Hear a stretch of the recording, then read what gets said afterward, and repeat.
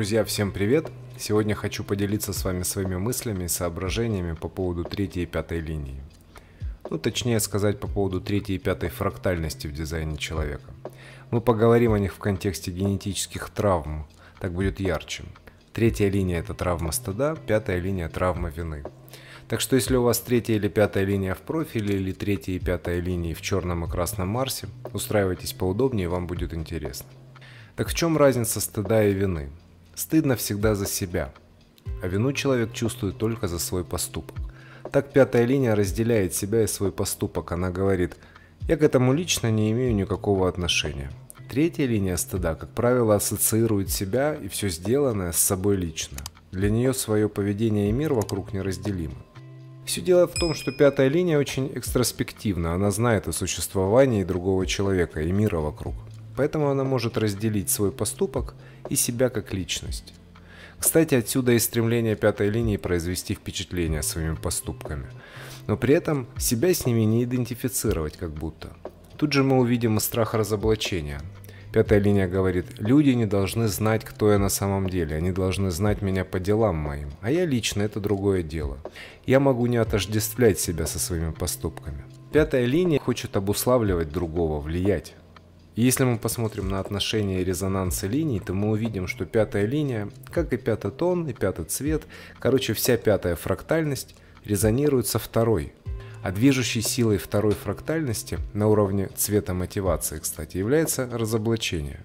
Почувствуйте взаимосвязь. Пятерка производит впечатление, а двойка разоблачает это поведение. Она говорит, будь собой, не надо понтов.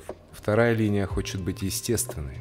Такой же резонанс есть и у третьей линии стыда и шестой линии невинности, бесстыдства. Я такой, какой я есть, мне не стыдно. Шестая линия наблюдает и ищет жизненность, в этой жизненности находит некое совершенство. Даже в несовершенных поступках, кстати, она находит красоту и ту же самую жизненность. А зачем я вообще говорю о шестой линии невинности? Потому что она является антиподом третьей линии. Я так хочу создать контраст, чтобы было видно разницу, так лучше уловить суть. Шестая линия говорит о невинности и бесстыдстве. То, что я делаю, мне за это не стыдно, потому что в этом выражается жизнь. А третья линия, напротив, говорит о стыде. Даже если она сделала хорошо и красиво, ей стыдно это показать и похвастаться. Если сделала плохо, то тем более. И тут живет неловкость за свои хорошие поступки и стыд за свои плохие. И самое поганое в этой истории – это не когда тебе стыдно за свои плохие поступки, а когда тебе неловко за свои хорошие. Когда ты сам обесцениваешь свое творчество, то, что сотворил.